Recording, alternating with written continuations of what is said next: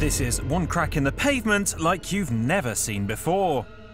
An unfortunate teenager in China is minding her own business when she vanishes into a hole in the street formed by water erosion beneath.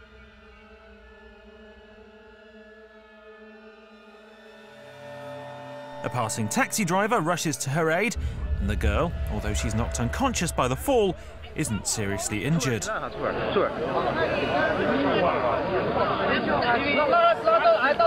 啊，对。